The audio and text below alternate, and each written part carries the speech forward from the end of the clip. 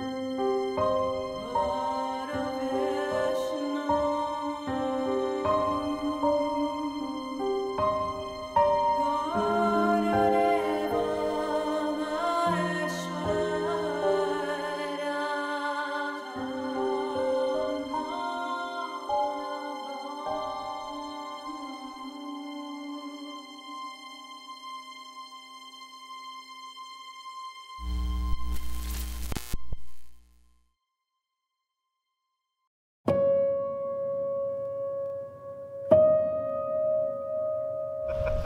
den opplevelsen sammen med dere der, den er, den er ganske ubeskrivelig. Den kommer jeg til å huske resten av livet. Det er sånn.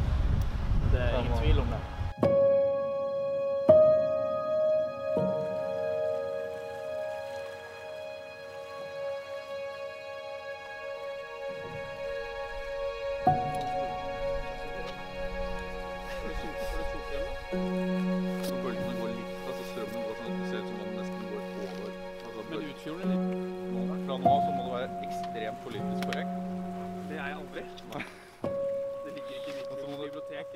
Når vi er på tur og skal fiske sjøørret, hva er ditt, eh, hva er ditt forhold til sjøørretfiske? Eh, ja, si det. Det er jo eh, på en måte For meg så er det en forlengelse av hele fiskesesongen. Det er egentlig et helt halvt år i saltvann før eh, ferskvannssesongen begynner, så det blir veldig mye sjøørretfiske. Så jeg eh, vokste opp på en øy utenfor Bergen, så det er jo ganske naturlig at det var der det faktisk startet. Så helt fra jeg begynte med fluefiske, så, så har jeg vært eh, kystfiske generelt, og selvfølgelig sjøørretfiske.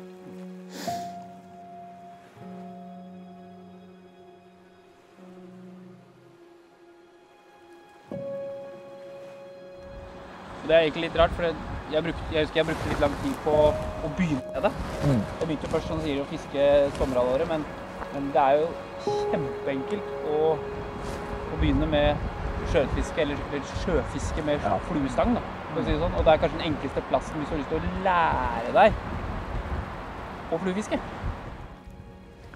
Det er kult. Nå fisker vi på ja, under en meters dybde. Ja, Ca. en meters dybde. Allikevel så går fisken inn. Og det er veldig typisk nå når vi får litt grumsete vann. Veden har virvlet opp mye mudder. Så kvir ikke fisken seg for å komme inn eh, ganske nærme. Der! Å, fin òg. Oi! Oi! Oi! Klin gal. Ops. Rosa reke igjen. Liker den tuppen hans.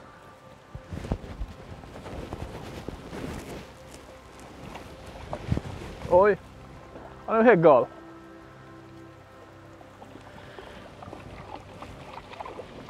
Yes! Ikke så stor, da. Fin, eh, fin fisk.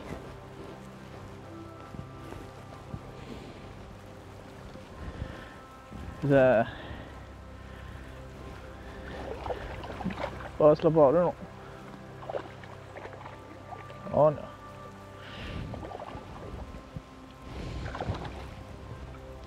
Her kom fluen. Rosa CDC-reke.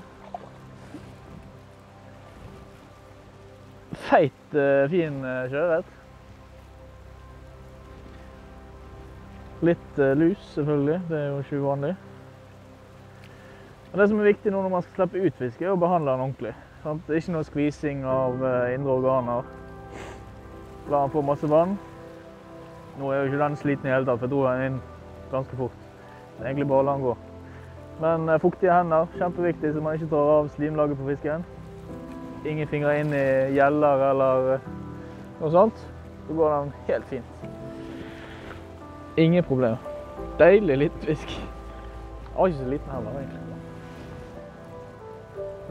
Det er veldig fort gjort hvis du ikke klipper hugget. Så er det veldig fort gjort å bare rappe til og løfte stangen langt. Det som skjer da, er at jeg tar veldig mye line og selvfølgelig ut av vannet. Men jeg flytter fluen veldig mange meter under vannet. Hvis fisken ikke har satt seg skikkelig på kroken, så, så vil det være ganske vanskelig for fisken å finne igjen fluen og ta den en gang til. Så det jeg liker å gjøre, er å dra fisken helt fast til jeg kjenner at den er fast, og så løfte stangen. Det krever litt is i magen. Eh, Og det er ikke alltid jeg klarer det sjøl engang. Men eh, jeg prøver å være ganske konsekvent på det.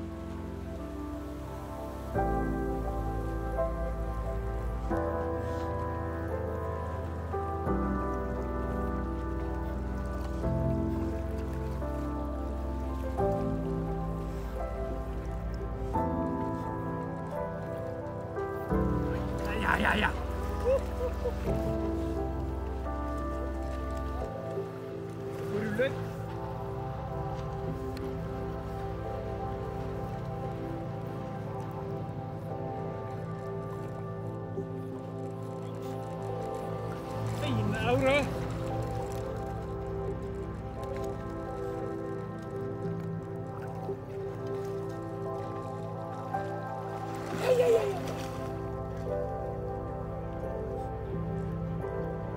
Fy. Ja, nydelig. Nydelig sjøørret.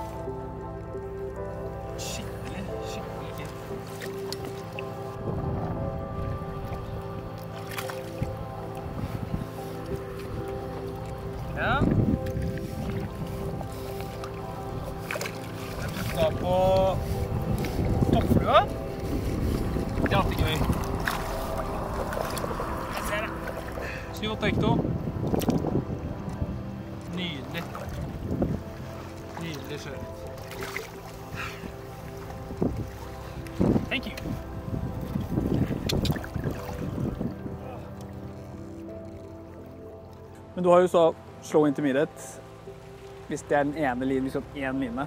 Men hvor mange linjer trenger man egentlig? Trenger bare én. Til sjøørretfiske så trenger du bare én, men det er kjekt og greit å ha eh, to. Eh, og da ville jeg gjerne gått på en slow intermediate og en synk 3. Og det er egentlig veldig fint, for du kan si at da har du jo synk 3 ja når det er dypere, men også type sånn kanskje litt mer utaskjærs. Ja, ja, helt eh, Utenfor marbakkene. Ja, og vinterfiske kanskje, hvor du, hvor du trekker deg Skal ut på svaberg og hive på sild, eh, hive på harbor. Ja. Så det er i hvert fall ja, det er de to linjene jeg ville valgt. da. Det er jo en tid som det kan lønne seg å, å dra ut og fiske på da, nå, nå som temperaturen har kommet opp en viss grad, på, på grunn av eh, byttedyrene eller matfatet til sjøørreten som, som virkelig byr på. da. Absolutt Og alt skjer jo på en måte inne på grunt vann òg. Det skjer eh, ofte så grunt at man ikke tenker over det. Man kaster ofte forbi fisken. sant? Men du har nå børstemarken eh, svermer jo etter hvert. Det er jo flere sverminger. Men så har du superviktig mat som er Jeg elsker det. Og det er små krepsdyr. Mm. Du har små reker som kommer inn, men du har òg gammarus som er der i, i tangen og lusker og lurer. Og det, det er så utrolig viktig ørretmat. Altså, ta den, da. Hvor, altså, hva egenskaper trenger man i en flue bare for å ha, Ja. ha det dekka? da, For å ikke måtte på en måte tenke og tenke og tenke? Ja, jeg mener at uh, hvis man har noe som fisken forbinder med mat, om det er så en eh, baitfish eller en uh, reke, så tror jeg ikke det spiller sånn kjempestor rolle. Og spesielt ikke på denne årstiden. Uh, det er kaldt i vannet, fisken er sulten.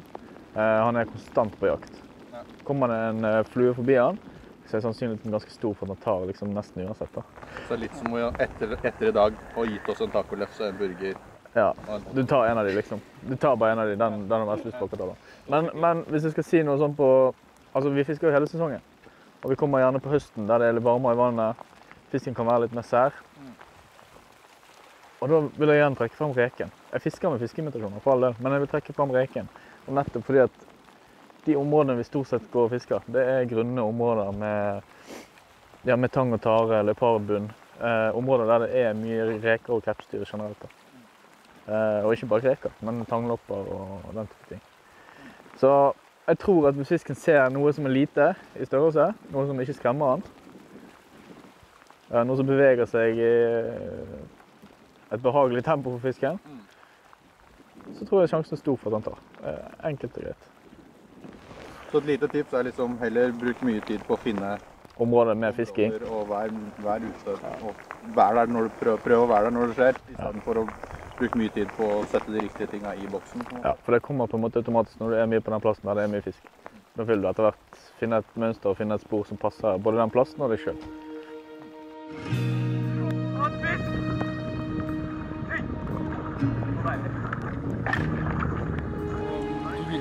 I Erlend mens jeg sto og kjørte fisken. Uh, mens vi prata litt samtidig. Uh, da er man inne på det jeg egentlig ikke liker å gjøre, men vi måtte, vi måtte gjøre det. Jeg plystret vel, tror jeg. Faktisk òg. Ja. Tror jeg dro til noe skikkelig på plystringa. Jeg dro til på dronen. Ja. Uh, og du ble, jo, du ble altså irritert fordi telefonen ringte x antall ganger. Men jeg tror du luktet litt rundt Ja, når du altså sjette, sjette, sjette gangen. Da, da sa jeg gutta, jeg, jeg tror vi skal stikke bort, for jeg lurer på om Håkon har fått seg en jævla stor fisk. Eh, men greia var at jeg sto der og fisket på fisk. Hadde en stim foran meg, og det var som du sa, det var en rolig formiddag. Det var skjedde lite. Så det var grisefornøyd bare med å finne de fiskene. da. Sto og fisket på de og hadde på fisk og mistet litt fisk. Og så ringer telefonen, prøver å svare på den, det regner ikke inn i helvete at, at eh, altså, funksjonen, skjermfunksjonen funker ikke sånn. Så jeg ligger tilbake igjen. Ringer igjen og igjen og igjen. Og jeg prøver å svare, men det går faen ikke an. Til slutt ble jeg så forbanna at jeg, sa bare jeg tror jeg må bare bort der. Enten så plager de meg, eller så har de fått en stor fisk. Og når jeg kom bort der og ser hva som eh, faktisk ligger der, da det var Ja, helvete. Da var jeg glad på dine vegne, altså. Det var stor og fin kjører. Det var en god følelse. Det er, eh, det er den beste følelsen hver gang du klarer å komme borti noen sånne eksemplarer.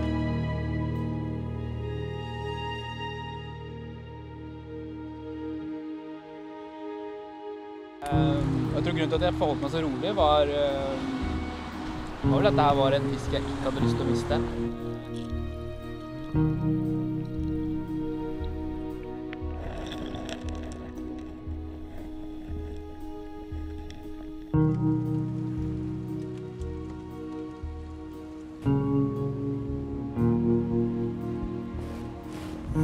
Når vi har snakka om uh, sjøørret, så har vi gått gjennom noen regler. Jeg tenkte det er jo Har du to ord om det? Sånn at eh, det kan være enklere for, for oss å ha en sånn påminnelse og ta litt forbehold når vi skal ut og ut på tur? Ja. Eh, alle alle sjøørretfiskere er jo pliktige å sette seg inn i regelverket. Eh, men man trenger ikke gå så langt i dybden for å liksom, eh, forholde seg til det viktigste. Og eh, det viktigste man eh, skal vite om, det er 100-metersgrense, som gjelder generelt for alle gytebekker i hele landet. Så det vil si at eh, innenfor et område fra, fra utløp til 100 meter, der er det ikke lov å fiske. Og så er det noe som heter utvidede, fre, utvidede fredningssoner. Og vi står jo med et sånt eh, skilt nå. Eh, der står det spesielle regler for fiske i henhold til JRF-forskrift. Så det er litt vanskelig å tyde ut fra det skiltet hva det faktisk betyr. da. Men jeg kan si veldig enkelt at det betyr så enkelt som at uh, her er det en utvidet fredningssone. Altså en fredningssone som er mye lengre enn 100 meter. Uh, I dette tilfellet mener jeg det er 1300 meter. Uh, jeg skal ikke si det sikkert. Uh, det vil si 1300 meter fra utløp til her vi står nå. Alt på innsiden der, det er fiske forbudt etter sjøørret. Utenom åpningstid i, i elven, da. Som jeg vet ikke når det er, om det er fra 1. juli til 30, eh, 31. august eller når det er. Det kommer litt an på hvilke fredningssoner man snakker om. Det jo, og dette er for å rett og slett spare bestanden for, for fiske, og Ja. at de skal ha et, det er trygt sted å være. Absolutt. Du har uh, småfisk som kommer ut, eller ungfisk som kommer ut. Den må ha et sted den kan beite seg opp og bli sterk på. Eh, og så har du ikke minst uh, viktige fisk som, er, som har vært oppe og gitt tidligere. Altså det vi kaller støinger. Dette er fisk som kommer ned nå gjerne på våren, som er mye svakere etter en lang vinter i elv.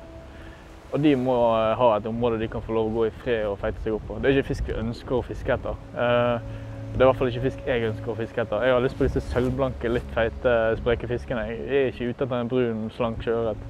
Det skjer. Fiskere, altså at, at vi skulle hatt et litt høyere altså At vi på en måte ikke skulle hatt den her hypen rundt all fisk. At det skulle være litt mer sånn at vi så sporten i å drive det på På en ordentlig måte, helt klart. Sportsfiskere er jo kanskje først i køen med å kritisere andre påvirkninger på sjøen. Vi, vi kritiserer oppdrettsnæringen. Selvfølgelig står det for mye felt. Eh, Vannkraft står for mye felt. Men sportsfiskere er jo de første til å liksom fyre løs med kritikk. da. Og står de gjerne sjøl og fisker på innsiden av fredningssonen. Eh, Da er det en dobbeltmoral som ikke går opp i mitt hode. Så helt klart, en sportsfisker er ansvarlig for eh, sine egne handlinger, og det gjelder også å sette seg inn i regelverk. Så jeg ønsker at alle sportsfiskere tar hensyn til det. Og rett og slett respekterer de enkle, for det er veldig enkle regler.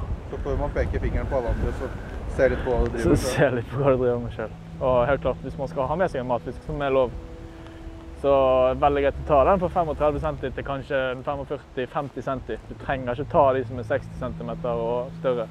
Storfisk er superviktig for bestandens videre eksistens. Så det burde kanskje også en eller annen gang bli et maksmål. Jeg håper, jeg håper det. Du ser masse gode eksempler på det i innlandsfisket. At, eh, at maksmål fører til eh, sterkere bestander. Så ja, det er ikke opp til meg å, å, å bestemme. Men jeg, jeg mener det kunne være smart å se på en sånn løsning. Ja. Absolutt. Nei, men da, da fortsetter du å fiske på den sida av skiltet. Ja, der står det pil at ikke lov å fiske den veien, så da, da selvfølgelig fisker vi den veien. Ja, helt klart. Sånn går det av og til. Det jeg liksom svelger eh, fisken fluen for dypt, da. Og han, eh, han blør, så så er det av og til ikke sjans. Men det blir en jæk- jækla god matfisk. Det blir en bra matfisk. Eh, og det er på en måte den størrelsen man trenger. Man trenger ikke større matfisk enn dette, mener jeg. da. Det mener jeg. Og det er på på en måte perfekt. Så det var litt, eh, litt, litt dumt at man må drepe fisk, men uh, man sitter tilbake, ikke tilbake fisk som, som ikke kommer til å overleve uansett. Da, Uh, da er det bare idioti.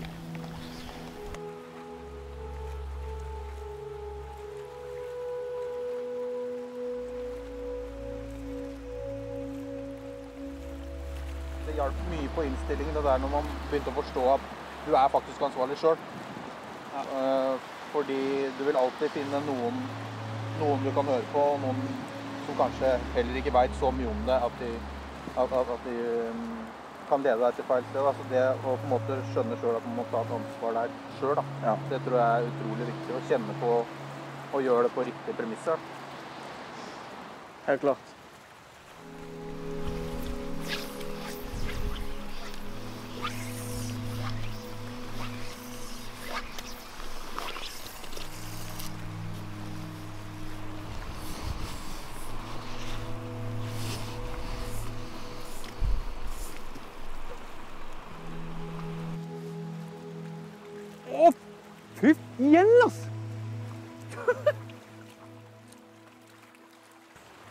Førstemann, førstemann. ja. Ja, dritfint. Men der får du ganske langt ute, og du får inntrykk av at den er Og du føler at den er en meter fra deg. Da er den jo ganske stor da.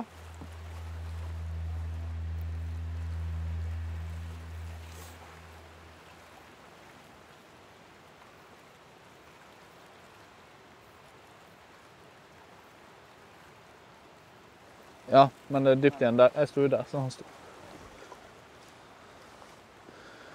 Men eh, ja, jeg jogger bort. Er det noen som blir med, eller?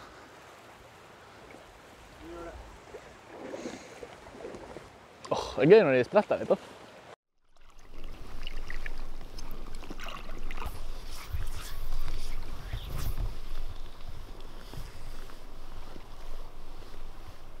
Vi har jo to personer i Norge som er utrolig flinke på det. Eh, Fiskejegeren og Berubsen spesielt.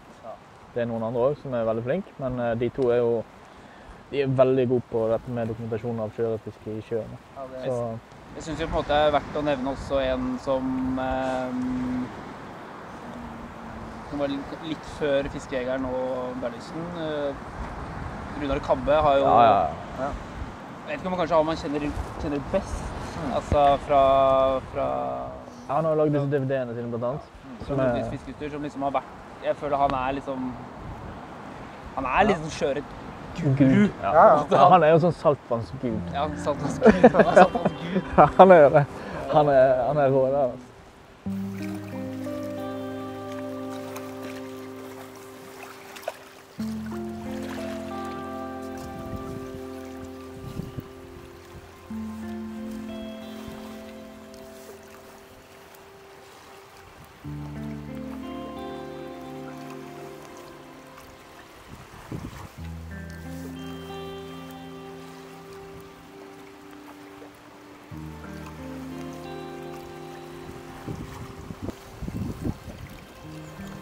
Farge, men eh, fortsatt en eh, ganske fin ørret.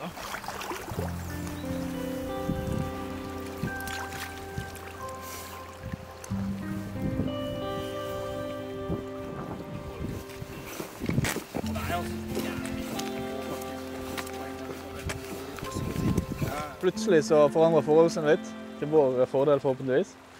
Får litt bris og litt ekstra vind. Og da er det aldri, eller veldig sjelden et problem å gå over på to fluer. Eh, Så inntil nå så har jeg fisket med en, en flue. Det jeg gjør da, er å ta den av eh, fra enden og sette den opp som en opphenger. Sånn. Da har jeg en opphenger her.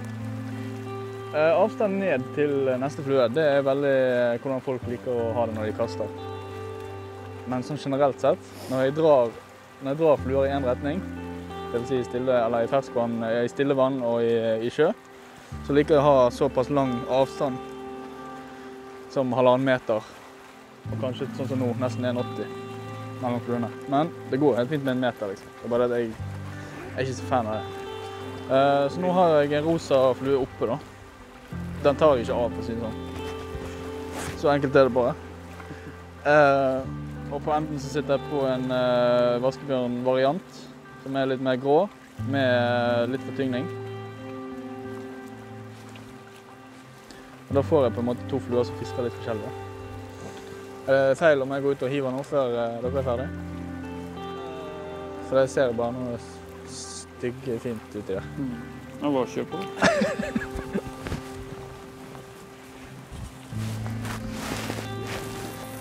Jeg synes at jeg, Jeg bare så en kant. Jeg, jeg er jo der at jeg syns det er sånn handikap når man fisker med Og så er det motsatt, så er det han som, han som får starte. Jeg vil at nå Jeg vil egentlig at den, at den nederst. Ja. Og reke på toppen.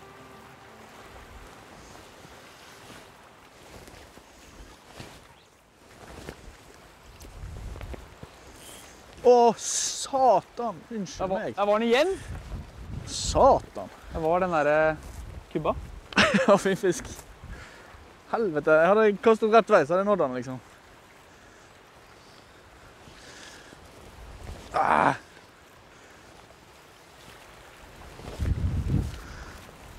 Nei. Og litt lenger opp. Yes.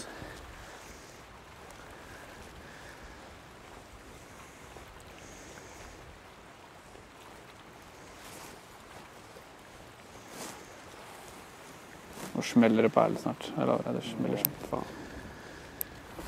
Er Erlend er Erlend Breal noen sånne nøtter? Nei. Han er så vant til sånne nøtter. Han er jævlig rolig. Og han skryter aldri at han får fisk. Han bare sier det. Så han sluttet å veie. Han sier bare 'send til'. Vekt, vekt det er egentlig, liksom det er egentlig et kult fokus, da. Å ta litt fokus bort fra vekta, for det syns jeg er Selvfølgelig er det kult med vekt, liksom. Jeg har motvind. Jeg har strøm som kommer imot meg i tillegg. Så jeg velger å legge inn hand twist i hver eneste stopp. Og dette er jo for at det ikke skal bygge seg opp noe slakk på denne linen. For er det slakk på linen i ett sekund, så kan det være nok til å gå glipp av den ene bonusfisken. Så jeg er jo ofte veldig opptatt av. Ja. For du vet hvor stor en bonusfisk kan være. En bonusfisk kan være 5 kilo, en bonusfisk kan være 500 gram. Åh, oi! Oi!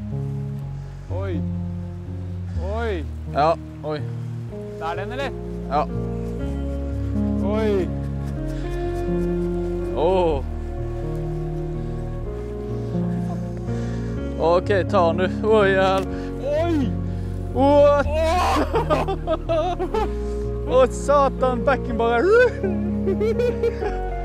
Snakkes, da. OK. Over? Skal du over? Det her er jo helt kaos.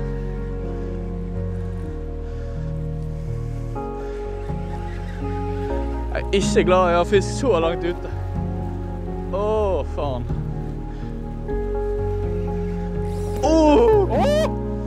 Er helt Å, fy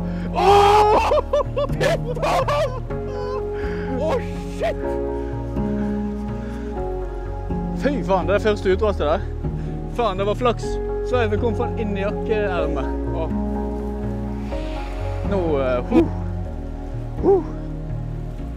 Men eh, det var så jævlig fett, det. Å, fy faen. Åh, det er lenge siden jeg har hatt den shaken her, altså.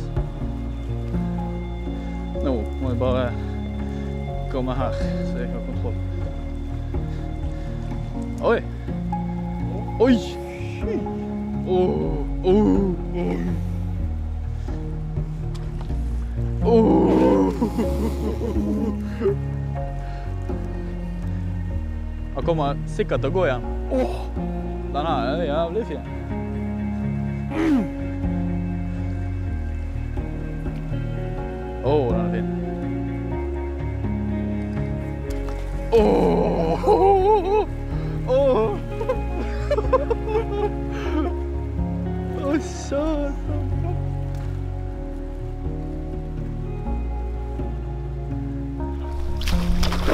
Fy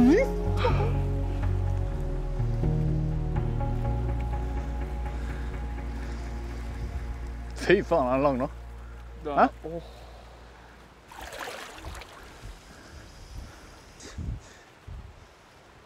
Fy faen, den var, den var ved hoven din, jo!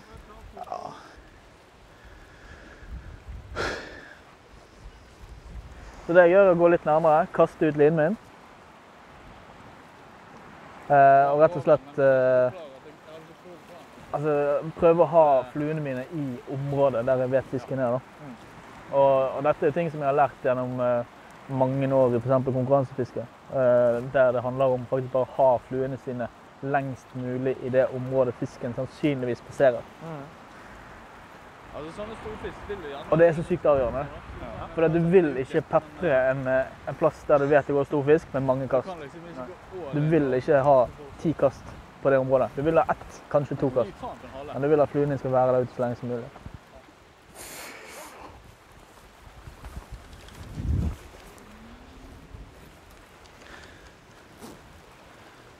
Jeg håper jeg får se en ørret, da. Det skal han ha.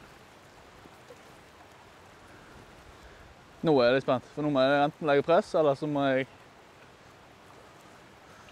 Fy faen.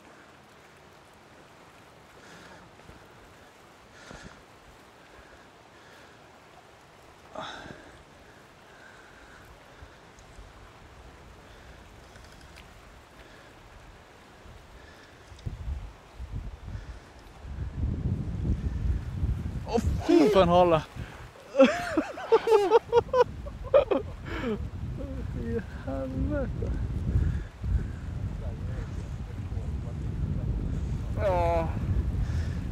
Ah, kom igjen nå, snu deg. Å, herregud. Jeg skjelver, jeg. Ja, jeg, hva tror du jeg gjør da? Å, herregud. Den er bred.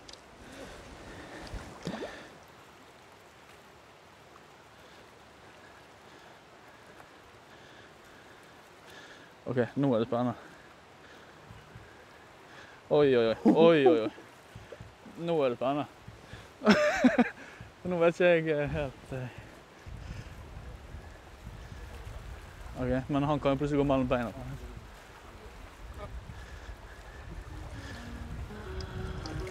Fy faen. Fy faen. Hvor er du?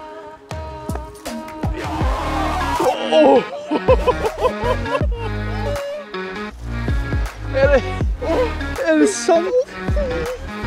Er det sant? Hæ? I helvete! Å, fy faen.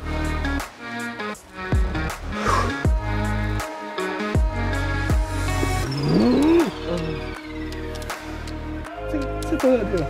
Er det sant?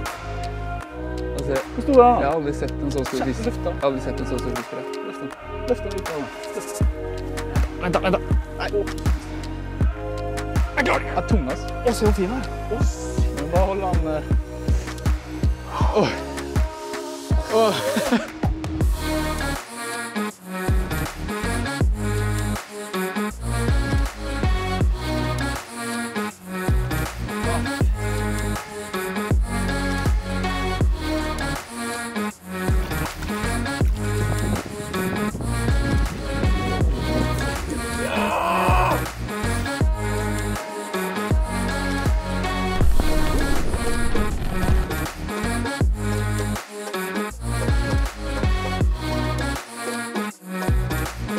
sånne opplevelser, de kommer ikke av seg selv.